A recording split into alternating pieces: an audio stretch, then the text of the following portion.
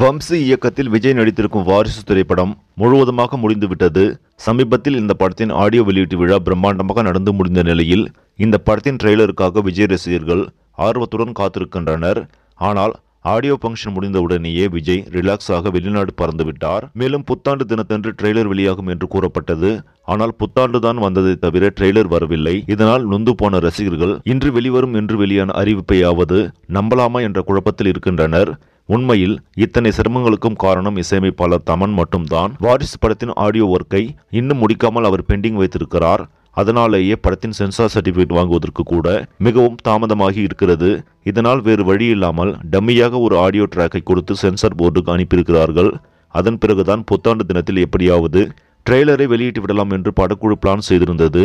ஆனால் அந்த திட்டத்தை தவிடு வகையில் துணிவு ட்ரெய்லர் வெளியாகி ஒட்டுமொத்த ரசிகர்களையும் கவர்ந்தது. தற்போது சோசியல் மீடியாவில் சக்கைப்போடு போட்டுக் கொண்டிருக்கும் துணிவு படத்தின் ட்ரெய்லரை பார்த்து வாரிசு படக்குழு கொஞ்சமல்ல நிறையவே பீதி அடைந்திருக்கின்றனர். அதிலும் நெகட்டிவ் கேரக்டர் போன்று காட்டப்பட்டிருக்கும் அஜித்தின் கதாபாத்திரமும் ரசிகர்களை கவர்ந்து வருகிறது.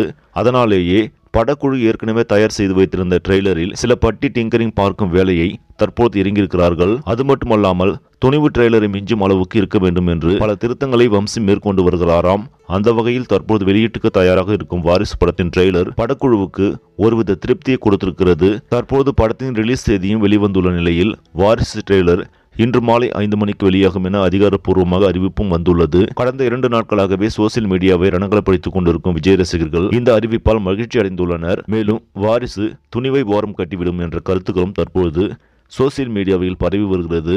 சரி நம்பளே இந்த செய்தி உங்களுக்கு பிடிச்சிருந்தால் லைக் பண்ணுங்கள் ஷேர் பண்ணுங்கள் மறக்காமல் நியூஸ் தமிழ் சேனலை சப்ஸ்கிரைப் பண்ணுங்க. அடுத்த வீடியோ சந்திக்கலாம். நன்றி.